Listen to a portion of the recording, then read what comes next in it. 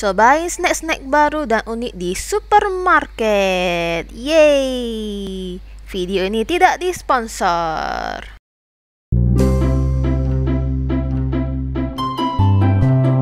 Hai guys, welcome back to my channel. This is Alice here. Dan di video kali ini aku mau ngecobain snack-snack unik yang ada di supermarket. Yang pastinya snack ini tuh merupakan snack produk terbaru di supermarket itu. Yeay! Sebelum video ini dilanjutkan, jangan lupa untuk subscribe channel ini dan jangan lupa juga untuk like, comment, dan share video ini ke teman-teman kalian ya. Terima kasih banyak. Tada! Jadi ini dia 4 snack-snack yang bakal aku cobain di video kali ini, maybe ya guys. Jadi yang paling aku penasaran tuh yang ini guys. Yang ini guys. Tada! Dari bungkusannya keren banget ya guys. Dan itu harganya juga lumayan mahal. Harganya ini 100 ribuan ke atas. Uh, jadi ini tuh kayak the world hottest corn chip gitu. Setahu kalau chips paling pedas itu chips pakui ya. Tapi ini tuh katanya dia mengklaim kalau dia ini juga the world's hottest corn chips. Kayak kerupuk jagung gitu kerupuk jagung. Cuma dia katanya ini yang paling pedas di dunia katanya. Terus di belakang ini kayak ada warning-warning gitu. Katanya uh, jangan dikonsumsi di perut kosong. Terus uh, kalau busanya ada problem masalah lambung atau alergi terhadap cabai atau kalau misalnya kalian lagi hamil atau menyusui itu gak boleh makan ini katanya. Terus uh, sensitif terhadap spicy food juga gak boleh. Atau uh, kondisi medical yang lainnya terus uh, kalau misalnya ada kondisi jantung itu semua gak boleh makan benda ini bahaya banget ya kayaknya Nah, terus ini kayak, eh pokoknya keren aja sih. Dan itu baru di supermarket yang biasa aku datangi, jadi aku penasaran aja. Dan itu sisanya, itu juga semua produk-produk baru gitu. Ini ada Club Saluto, katanya ini produk baru, tak tahu sih. Soalnya di supermarketnya katanya ini baru. Terus ada Kopiko Vincenzo. Ini Kopiko doang sih. Dan ini unik karena soalnya katanya ini sugar free, permen tapi sugar free. Unik sekali. Terus ini ada pretzel. Ini nggak tahu sih baru atau enggak cuma ini karena unik aja. Rasa pizza sebenarnya aku mau coba ini doang sih. Cuma katanya nggak boleh konsum on empty stomach. Jadi aku makan yang lain dulu. Ini tak di sini dulu ya kok saluto coklat nut karamel sensasi coklat baru? Jadi ini berarti coklatnya ini ada uh, kacang sama karamel. Mari kita buka. Ya gak sih? Ada coklat, kacang, crackers, dan karamel. Ini bau kacang banget guys. Yang nggak suka kacang mending jangan coba deh kayaknya. Ini kayak gini guys dalamnya oke aku bersihkan tangan dulu guys hmm, jadi ini luarnya ada lapisi gula juga ternyata guys coba kita lihat ya bagaimanakah apakah ini dua lapis Oke, jadi bentuknya kayak gini guys. Tada, ini ada rambut saya. Tada, nampak gak? Enggaknya ini terlalu terang sih kayaknya. Nah, tada, jadi ini tuh kayak hmm, ada gula-gula di luarnya gitu guys. Terus, ini nggak tahu ya, ini nggak tahu aku makannya harus gini atau satu-satu. Itu bisa dipisah guys. Nah kayak gini. Wis. Up banget ya. Oke mari kita coba ya. Up aja. Hmm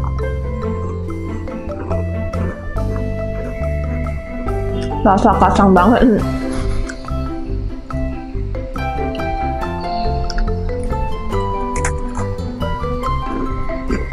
Jadi ini rasanya enak sih enak. Cuma ini kayak sesuatu yang nyangkut di gigi gitu loh. Nyangkut di gigi aku gitu. Kan si kacangnya mungkin atau gu tumpukan gulanya di belakang ini loh. Kayak ada nyangkut. Aku gak suka sih kalau misalnya aku makan snack atau apa pun yang bisa nyangkut di gigi aku. Sela-sela gigi dan nyangkutnya ini nempel gitu loh. Kayak sih karamel kacangnya gitu. Dan itu gak bisa dikunyah. Kayak udah kunyah sih cuma kayak masih ada gitu loh nyangkut-nyangkut. Rasanya enak. Untuk teksturnya nih keras. Coklatnya uh, ya biasa aja sih. Ya overall biasa-biasa aja. Cuma dia kayak ada nyangkut-nyangkut di mulut gitu. Rasa kacangnya juga agak terlalu lendang. Settle sih lumayan settle. Ini lumayan enak. Aku nilai karena dia nyangkut di gigi aku kasih nilai 6 dari 10 karena nyangkut di gigi oke okay guys next. Aku mau cobain ini crepes yang rasa pizza. Dan ini tuh yang tadi kok tadi nyangkut banget di gigi dan lumayan sakit. Kayaknya tuh buahnya sih nyangkut banget. Masih nyangkut sampai sekarang. Katanya ini dipanggang tidak digoreng terus rasa pizza gitu. Itu dari gliko ya? Mhm. -huh. buatan mana nih kalau ini tuh buatan Thailand tapi dalam pengawasan Jepang. Oke, jadi bungkusannya kayak gini bungkusan gliko biasa.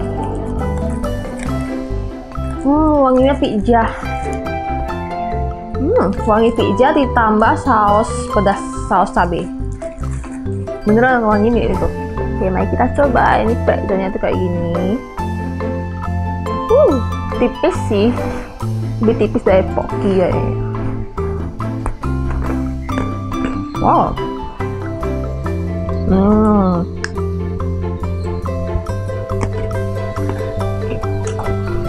Yang ini rasanya nendang banget. Micinnya tuh terasa banget gitu loh. Hey guys itu enak banget. Uh, micinnya terasa banget, nendang banget. Terus dia tuh ada rasa pedasnya dikit, asinnya itu banyak. Terus kayak ada rasa saus tomat dan rasa pizza gitu. Jadi itu literally kayak kalian tuh makan pizza, tambahin saus cabe, terus tambahin saus tomat, terus dibuat jadi cookies gitu. Itu rasanya sih. Enak banget. Aku kasih ini nilainya 8 dari 10. Soalnya ini enak tapi menurut aku terlalu banyak micinnya kayak sini tinggal kopiko tapi kopiko kayak yang terakhir aja soalnya ini bonbon oke mari kita coba yang the world's hottest corn chips. Yay. Ini bungkusannya gede banget. Mari kita buka.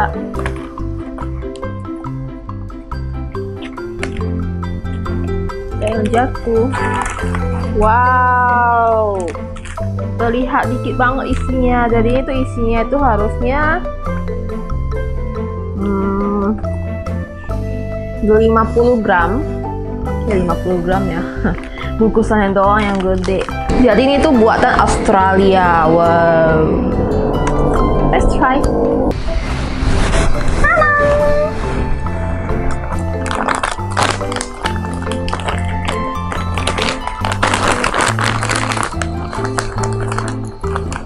Wah keras guys. Tada! Di sini ya bentuknya kayak tortilla gitu bentuknya segitiga guys. Dan lumayan merah. Mari kita coba ya.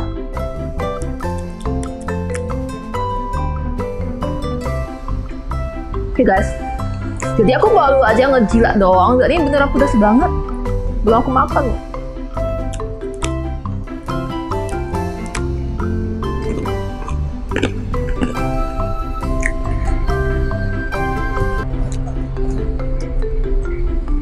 Gila. Baru satu gigi doang pedas banget guys. Ini beneran pedas.